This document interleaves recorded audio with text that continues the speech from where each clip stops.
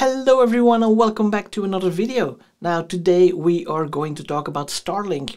I originally got Starlink in May 2021 where I started testing it and it was just set in a non-fixed location in, in my backyard.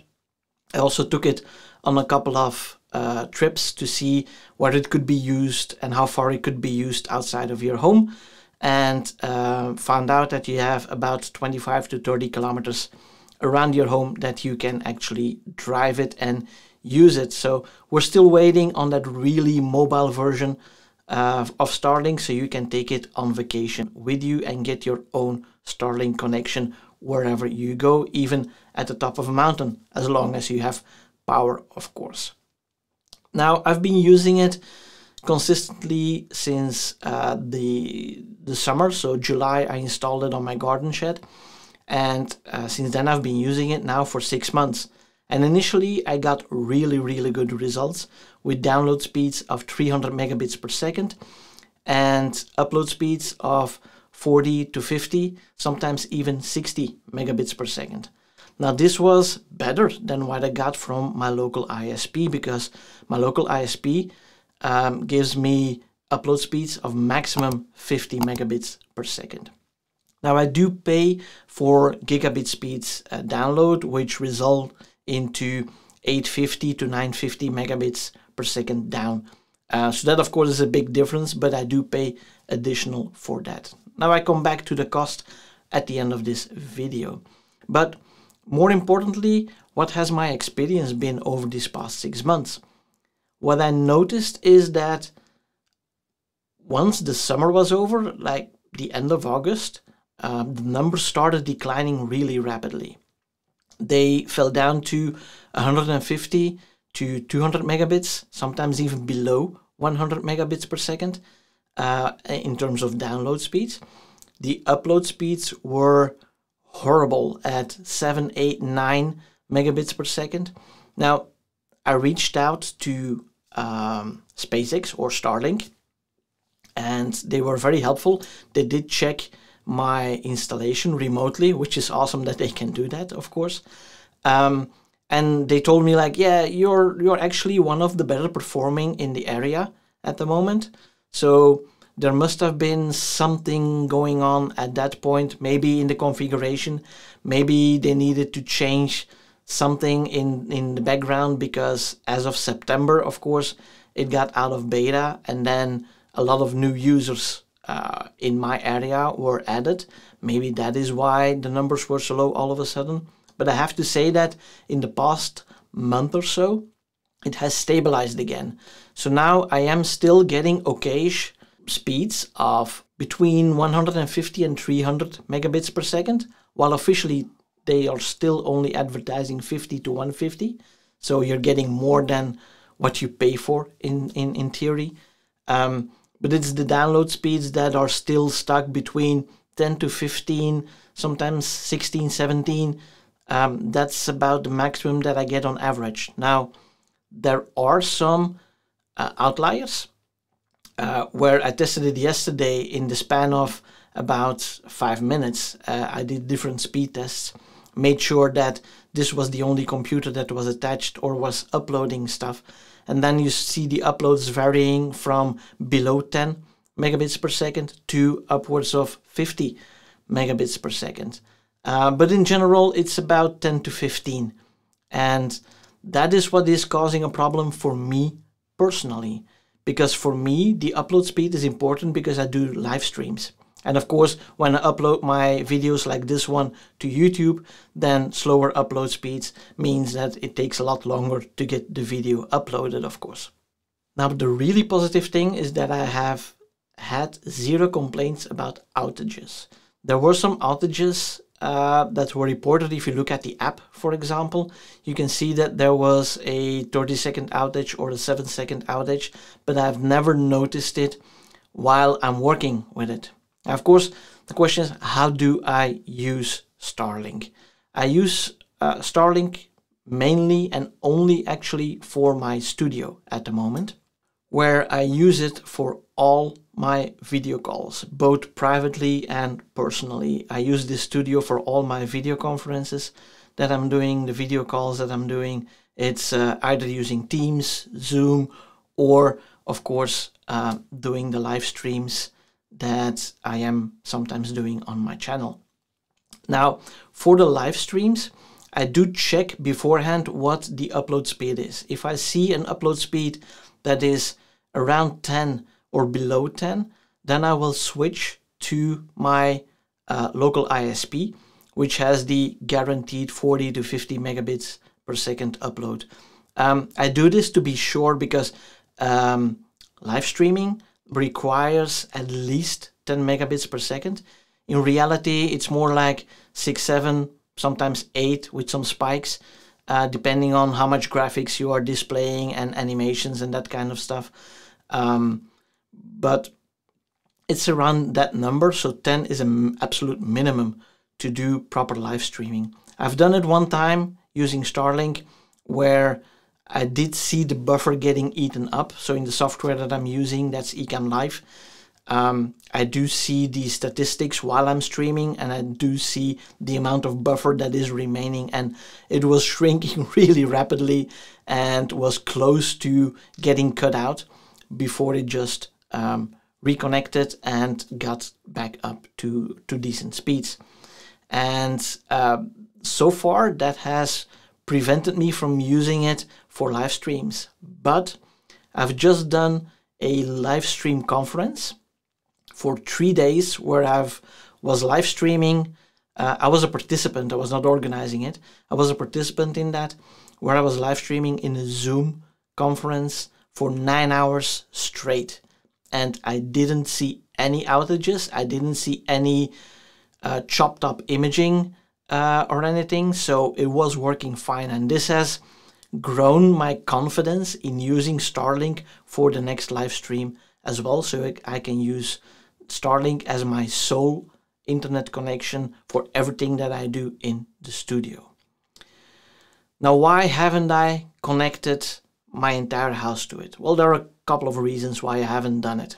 Um, first reason is that Starlink is fixed set to your uh, local internet address of 192.168.1.xxx. And you cannot change that dot one. That is fixed, and I don't know why they do that, but historically in my house, I uh, actually did not have the one. I had another number. So that would mean that all my fixed IPs, I would have to change them in order to be able to just switch to Starlink because otherwise I would be in a different IP range and I wouldn't get any internet connection at all. Now you could say, okay, that's like a small task, but I have like over 20 devices with a fixed IP in my house. So that takes a little while.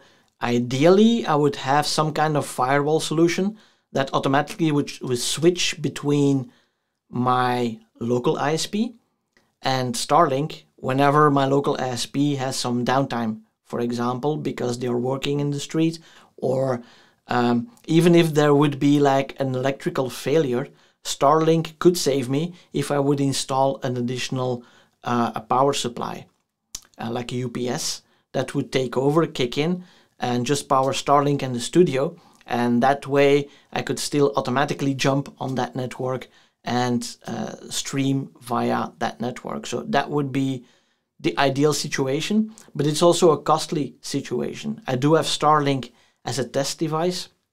Maybe I will switch to it one day when it's really stable and uh, really also providing those gigabit speeds. But right now, my ISP is a lot cheaper um, and also it's a lot more stable Another reason why I don't use Starlink at the moment is although Starlink does support most of the protocols for VPN, uh, for some reason it does not support the uh, protocol that have, that is being used at work. So I cannot use VPN access to my work. So if I would put the entire house on it, I would not be able to work from home. And the same for my wife. She also needs VPN access for her work and uh, probably I haven't tested it with her laptop yet, but probably it's the same issue. So if you need VPN, it's not always going to work uh, with Starlink yet. I hope they will fix that soon. The next question is, of course, would it work? Would it be fast enough to be able to take care of the entire house? Now, in my case, I have uh, four Nest cameras that are using, I looked it up, 1.2 megabits per second each for uploading high quality uh, security video to uh, the Nest Cloud. Um, so that's about 5 uh, megabits per second that it's taken up there in terms of upload. Of course, my YouTube stream would be on top of that, uh, meaning I would need at least 15 and closer to 20 with some margin um, megabits per second to be able to do all of that together. Of course, there is whatever the kids are doing if they're watching some YouTube on their phones or playing online games. Um, that is going to go mostly to the download side. So that would be fine. And of course, if we Netflix, um, they apparently give 25 megabits per second as um, as a guide uh, per TV that is watching or per channel per device that is watching 4K video. Now, not all devices can do 4K. If you're watching on your computer and you don't have a 4K display, or if you're watching on your phone, that's not 4K.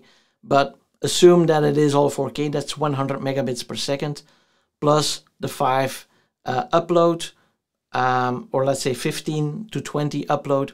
So in theory, it could work and I know people that have switched completely to Starlink, which is awesome. Uh, but for me personally, it's the upload that is killing it to do it or to do everything on, uh, on Starlink for now. But as I said, um, can it be your only internet connection? It definitely can. So with speeds of 150 to 300, not so long ago, only a few years ago, this was the standard for internet connectivity. So yeah, that is definitely more than enough. And as I said, the upload for most people, it will be more than enough to have that upload speed for emailing or maybe uploading some uh, minor videos and that kind of stuff. Uh, definitely Starlink can be your only connection. Um, the fact or the question, is it worth it? That's a different question because um, if I calculate what I pay for my local ISP, if I go for a 300 megabits per second download speed and 20 megabits per second upload speed, which is roughly what I'm getting with Starlink, then I pay 55 euros for that per month. And if I do it with Starlink, that's 99 euros per month. So it's almost double the price for the same service with a lot less reliability at the moment. It might change. The more satellites we get, the better the system will get, of course, over time. But right now, at this point in time, I think if you have a local ISP that gives you more than 100 megabits per second, it is not worth getting Starlink. It is way too expensive and it is not delivering all of its promises consistently. Whereas if you're below that, or you don't have internet at all, or you need to do a huge investment in getting a landline to your house, then yeah, you can get it. And yes, it is expensive, but if your local ISP doesn't deliver the same value and maybe they charge the same amount, or even if it's half of the amount, and you get a better experience with Starlink, by all means, do go for it. So that's my experience with Starlink internet over the past six months. It was good, went down a little bit. Now it's more stable, it's more usable. And because of attending that conference where I was sending my stream out and I was getting their stream back, of course, at the same time, and didn't see any glitch, my confidence in using it as my sole internet connection for the studio has definitely grown. But again, I won't be switching my house directly entirely to Starlink because of the fact that the upload speeds are now like just doable for what I need it to be. And if I add the house and uh, the guys, the kids would start uploading stuff or doing stuff that might interfere with it. So I don't want to risk it. But I will be doing every single live stream from now on solely on Starlink. So there you have it. As usual, if you like the video, please give it a thumbs up and don't forget to subscribe to the channel and make sure you click that little bell icon so you don't miss out on any new videos. And for now, thanks for watching. See you guys in the next one. Bye bye.